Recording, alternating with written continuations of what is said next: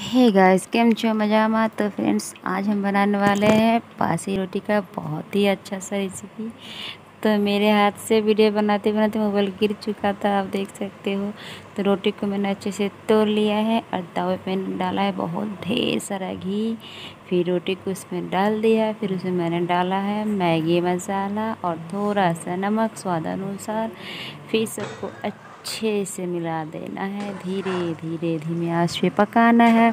और फ्रेंड इसका स्वाद आप कभी नहीं भूलोगे। आप भी अपने घर में ट्राई ज़रूर करना। बहुत ही स्वादिष्ट बनता है।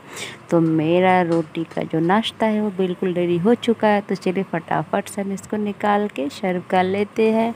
तो आई होप गाइस आपको वीडियो पसंद आया होगा तो प्लीज़ वीडियो पसंद आए तो मेरे चैनल को लाइक करें सब्सक्राइब करें और मेरे चैनल को सपोर्ट करें। कीप सपोर्टिंग गाइस तो चलिए मिलते हैं नेक्स्ट वीडियो पे, तब तक पापा एंड टेक केयर